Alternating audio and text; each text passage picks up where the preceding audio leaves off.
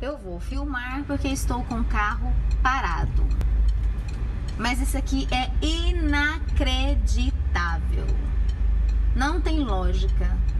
Ninguém nunca vai resolver isso aqui, não, gente. Todos os pais param em fila dupla. Para passar nessa rua aqui é uma eternidade. Não tem condições. Setor Bueno, rua T30. Não anda. É impressionante. Ninguém resolve isso. Todo dia é a mesma coisa.